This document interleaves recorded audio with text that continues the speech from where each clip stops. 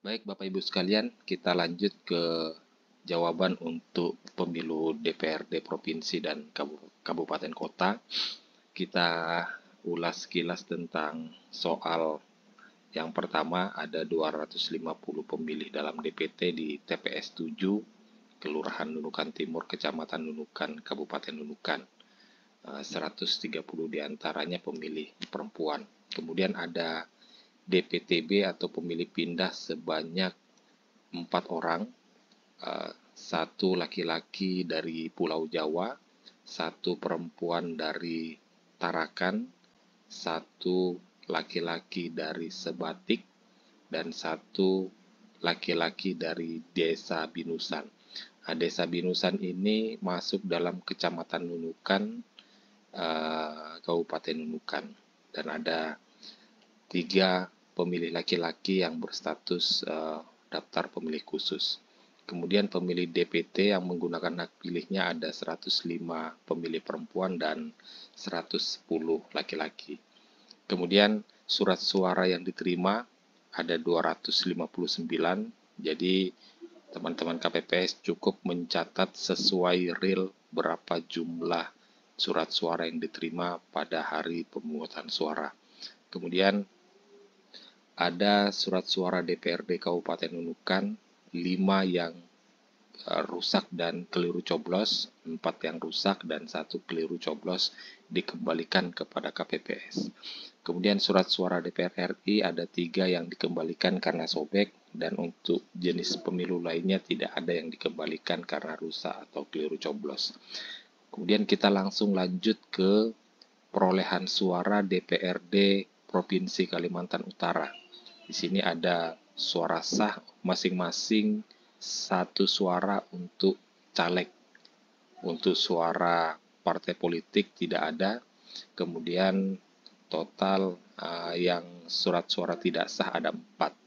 Jadi kalau masing-masing satu caleg, maka satu partai politik ada 12 suara sah, kemudian dikalikan 18 partai politik, total ada 216 suara sah kemudian ditambah dengan empat suara tidak sah menjadi 220 suara sah dan tidak sah. Nah, untuk menjawab eh, C hasil DPRD provinsi tentu kita harus mengetahui dulu daerah pemilihan untuk eh, DPRD provinsi Kalimantan Utara. Kalau DPR RI dan DPD kan sudah kita bahas sebelumnya, dia meliputi semua lima kabupaten kota seprovinsi Kalimantan Utara dan sama antara DPR dan DPD. Eh, berbeda kalau daerah-daerah lain seperti Jawa Barat, Jawa Timur, dan Jawa Tengah. DPR RI dapilnya bisa berbeda dengan dapil DPD. Eh, kemudian untuk DPRD Provinsi Kalimantan Utara ada empat dapil. Kalimantan Utara 1 meliputi Kota Tarakan, Kalimantan Utara 2 meliputi Kabupaten Nunukan dan eh, Kabupaten Tanah Tidung, ini gabungan kabupaten. Kemudian Kalimantan Utara ada eh, Kalimantan Utara 3 meliputi Kabupaten Malinau dan Kalimantan Utara 4 meliputi Kabupaten Nunukan. Nah, dalam contoh soal tadi, ada pemilih pindah dari kota Tarakan, dan itu merupakan dapil Kalimantan Utara 1, dia pindah memilih ke Kalimantan Utara 4, yaitu di Kabupaten Nunukan. Artinya dia sudah berbeda daerah pemilihan untuk DPRD provinsi. Apalagi DPRD kabupaten kotanya sudah pasti berbeda daerah pemilihannya. Nah, kemudian uh, daerah pemilihan untuk DPRD Kabupaten Nunukan ada empat dapil Nunukan 1 meliputi Kecamatan Nunukan, kemudian Nunukan 2 meliputi Kecamatan Nunukan Selatan, kemudian Nunukan 3 meliputi ada lima kecamatan di Pulau Sebatik, kemudian Nunukan 4 terdiri dari Sebuku, Sembakung, dan seterusnya sampai Krayan.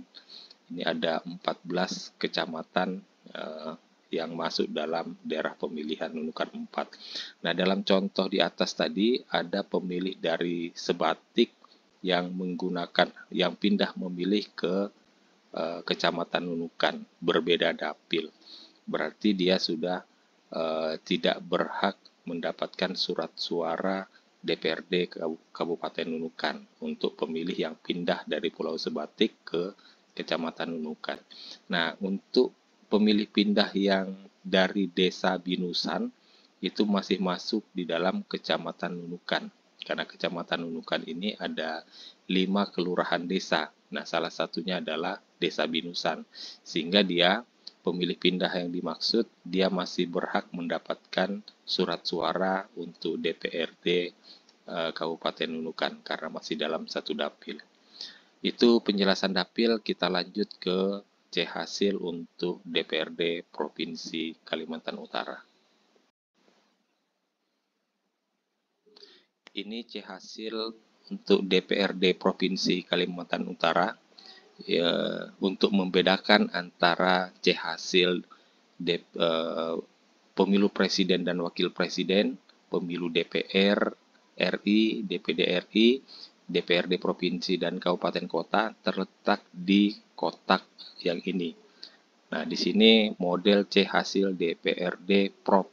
Kalau presiden C hasil PPWP. Kalau DPR RI, DPR, kalau DPD, DPD, dan seterusnya kalau kabupaten kota, DPRD, Kap Kota.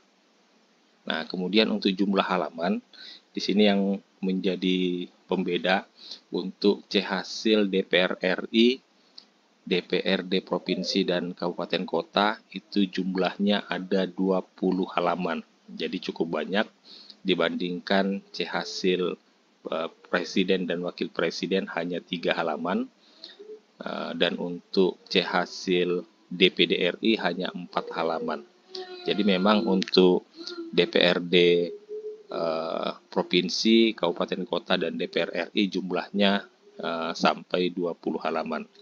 Kemudian kita lanjut isi eh, kalimatnya Rabu 14 Februari dan seterusnya kemudian diisi identitas TPS, TPS 7, Kelurahan Nunukan Timur, Kecamatan Nunukan dan daerah pemilihannya.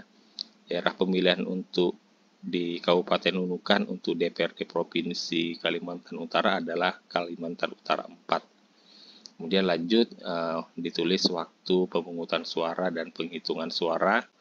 Kemudian lanjut mengisi kolom-kolom data pemilih seperti sebelum-sebelumnya ada 250 pemilih.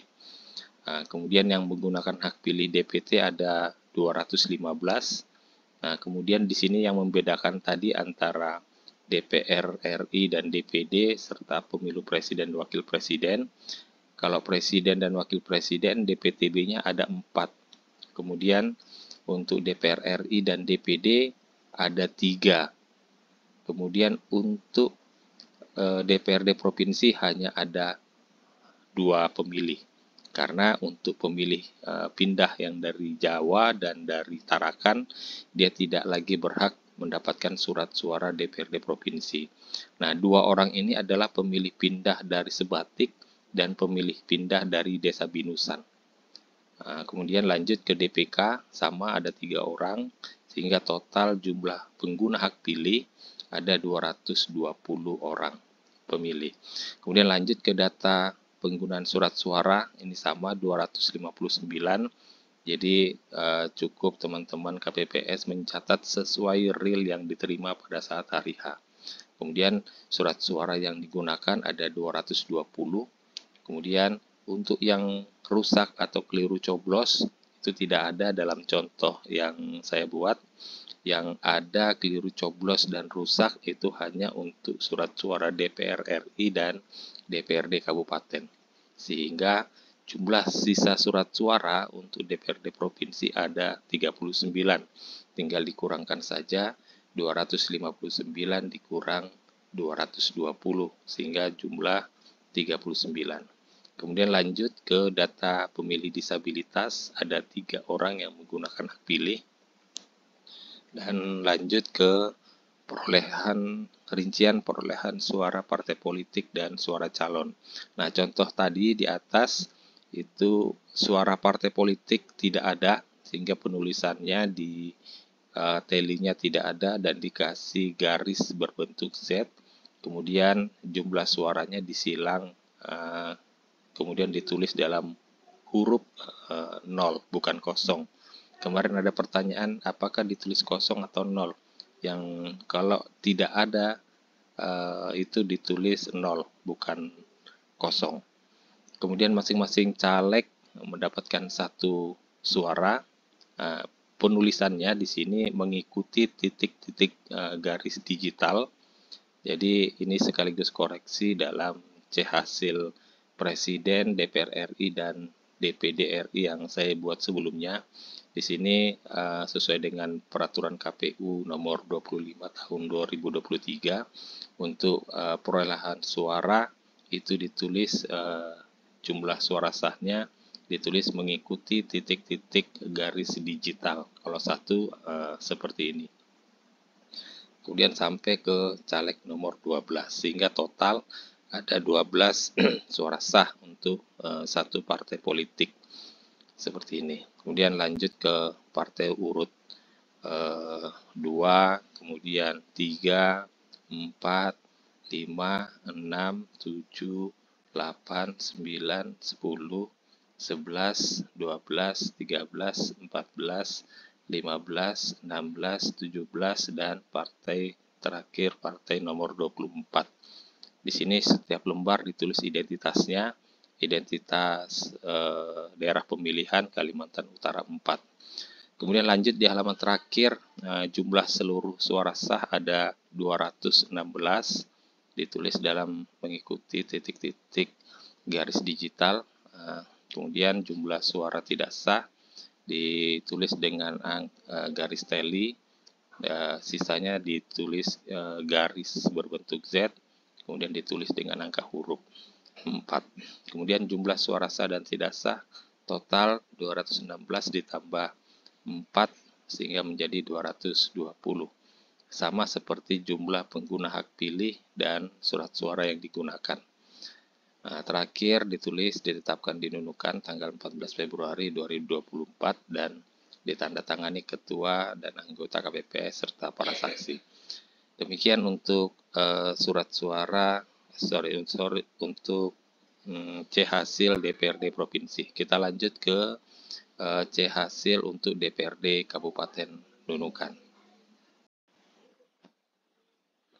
Baik, kita lanjut ke C hasil untuk DPRD Kabupaten Kota. Nah, di sini yang membedakan tadi, kalau tadi C hasil DPRD Prop.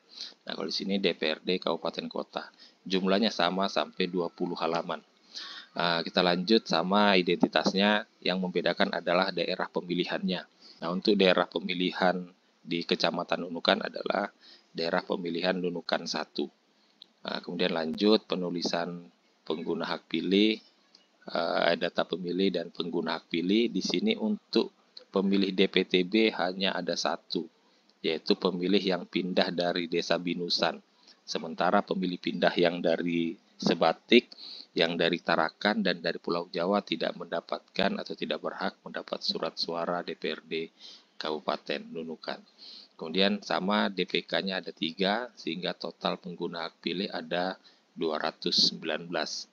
Kemudian lanjut ke data pengguna surat suara yang diterima ada 259.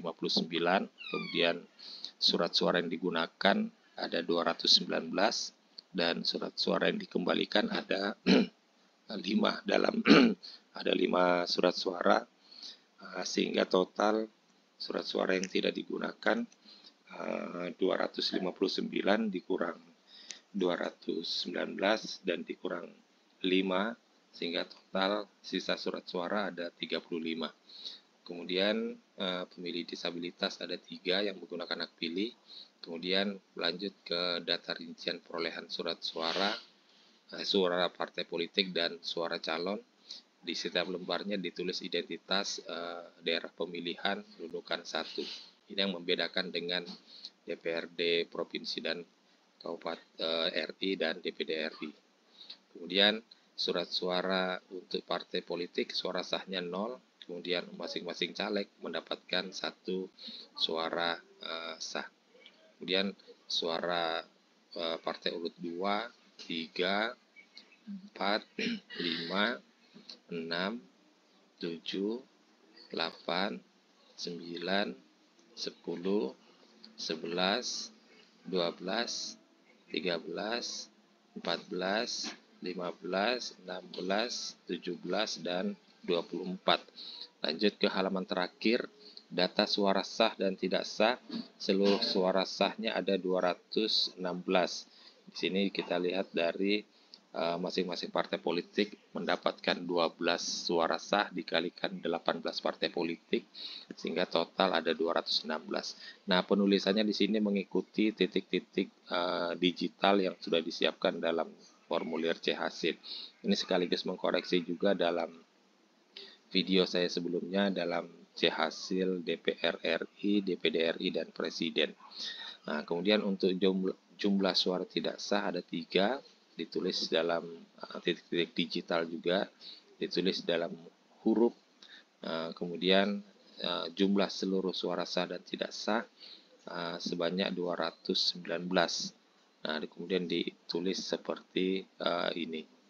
Nah, kemudian ditetapkan dinunukan 14 Februari 2024. Nah, dari contoh-contoh ini, dari C hasil Presiden, DPR RI, dan DPD RI, DPRD provinsi dan kabupaten kota, teman-teman bisa membedakan uh, yang menjadi pembeda adalah pengguna hak pilih untuk uh, presiden ada empat orang, kemudian DPR RI ada uh, tiga orang, dan DPD RI ada tiga orang pemilih pindahnya.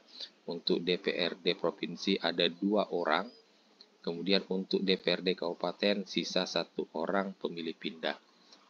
Nah, seperti itu itu yang membedakan pengguna hak pilih. Jadi tidak boleh disamakan ketika dia pindah yang melintasi dapil.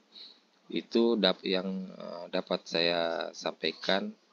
Uh, kalau masih ada yang kurang paham silakan komen di uh, kolom komentar dan mudah bisa saya berikan jawaban. Terima kasih.